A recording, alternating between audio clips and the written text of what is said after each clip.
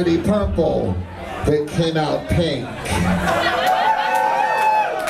Y'all know that one, huh? Let's get into that shit.